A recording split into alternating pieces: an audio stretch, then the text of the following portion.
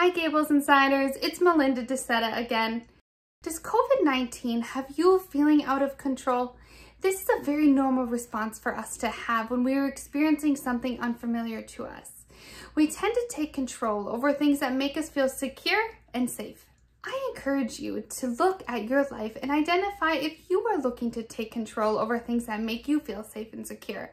This may be our family or something around our home. If this is something you can identify with, I encourage you to identify many areas of your life that help you feel safe and secure and back in control. Thank you, Gables Insiders.